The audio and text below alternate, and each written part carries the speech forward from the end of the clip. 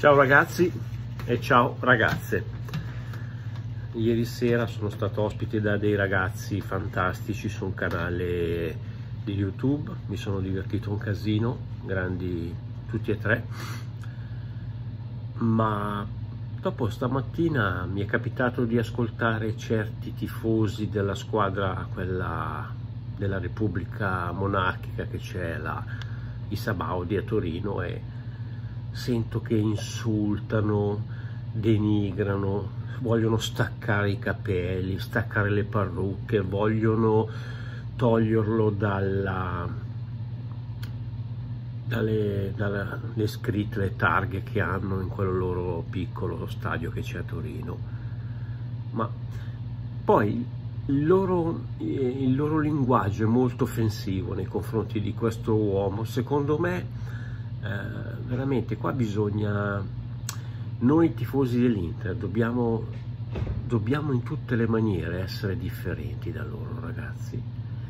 Deve, il nostro essere nero-azzurro ci deve distinguere tutti i giorni. Noi, il signor Armando Picchi, questo adesso non è, non, sono, non voglio fare il professore, voglio fare il conoscitore della storia della mia squadra, che è una cosa differente e noi, il nostro Armando Picchi è stato il capitano di una delle squadre più forti di tutta la storia del calcio, no? Lui vinse due coppe dei campioni, lui vinse due coppe del mondo, lui vinse quattro scudetti con la fascia di capitano no? di questa grande squadra nata in 3-4 anni, da, costruita da Moratti e dal signor eh, Herrera. No? Piano piano e ce lo fecero anche loro in tre anni. Lui, terminata la carriera, andò ad allenare i giovani, i giovani giocatori della Juventus, ma i tifosi dell'Inter non fecero tutte queste scene, queste scene da, da, clown, da pagliacci. La cosa bella è che loro si permettono delle volte di chiamarci a noi pagliacci, ma io ascolto dei, degli uomini di 40, 50 anni che dicono delle cose veramente con, parlano con cattiveria di Conte, di... ma ragazzi, ma c'è, c'è il professionismo nel gioco del calcio. Allora Picchi cosa dovevamo dire noi? Che è stato il primo capitano della storia ad aver vinto gli ha fatto una doppietta, in due anni hanno, vinto, hanno raddoppiato tutto quello che avevano l'anno prima, hanno rivinto l'anno dopo. Cioè, ma ragazzi, ma di che cosa stiamo parlando?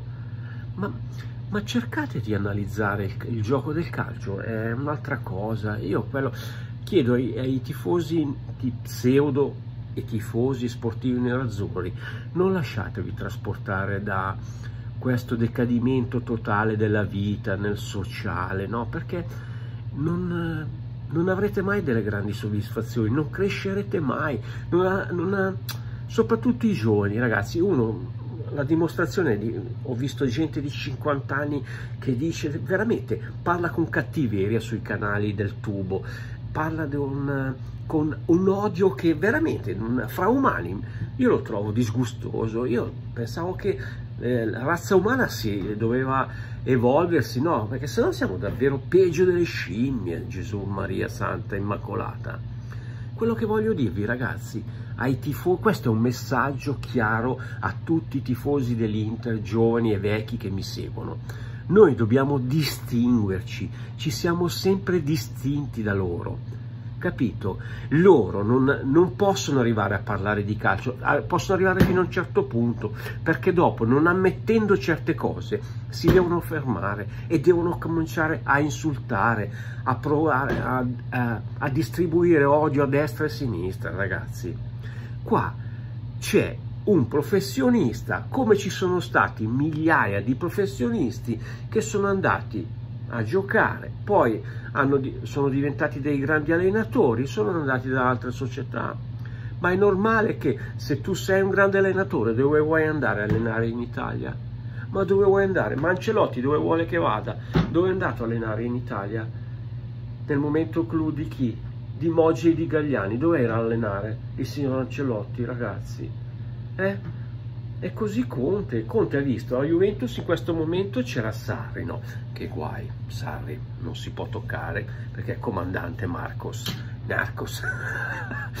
e allora è andato all'Inter che in questo momento, secondo me, l'Inter, se non arriva uno degli uomini più ricchi della Francia, l'Internazionale è l'unica squadra che nei prossimi anni può dare fastidio alla società monarchica che, monarchica che abbiamo in Italia. Mettetelo nella testa e quindi ci vogliono le migliori persone a partire dai coach.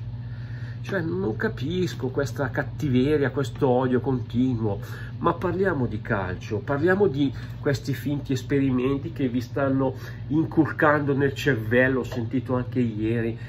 Conte non vede l'ora di iniziare la nuova stagione con altri uomini, ragazzi, perché se no se ne va, fa la fine di Mancini. Se quest'anno, quest'estate non gli prendono almeno 3, 3, 3, 3, 3 tre forti giocatori, Conte se ne va, perché Conte 12 milioni, lui potrebbe starsene zitto, chi me lo fa fare? Quando faceva le interviste a Spalletti, che è un, un tipo un po' differente, vi ricordate che non si capiva un cazzo delle interviste che faceva? Invece Conte si fa capire, si fa capire molto bene, ha iniziato già contro la, a, a Dortmund a dire la sua sulla rosa, ok? ma lui poteva stare zitto tutto l'anno, 12 milioni, chi me lo fa fare di, di parlare, di giudicare la rosa che ho a disposizione? E non credete agli esperimenti.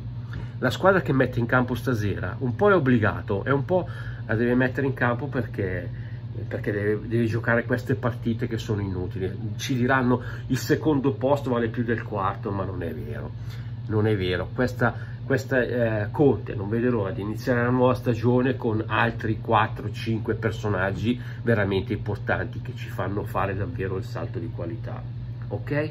comunque ricordatevi sempre Picchi Picchi era il capitano della grande Inter. La grande non l'ho chiamata io grande Inter. La grande Inter l'hanno chiamata gli esperti di calcio non io eh quindi non vi offendete se dico che Armando Picchi era il capitano della grande Inter è andato ad allenare la squadra Sabauda appena iniziato, no? Perché l'Inter in quel momento lì c'erano tanti suoi ex amici e non poteva fare l'allenatore.